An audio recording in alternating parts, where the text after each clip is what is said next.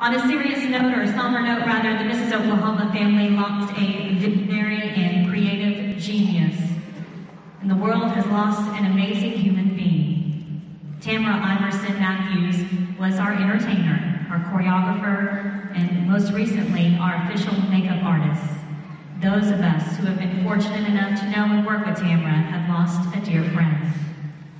No words can adequately express our sadness or our gratitude for the opportunity to know her.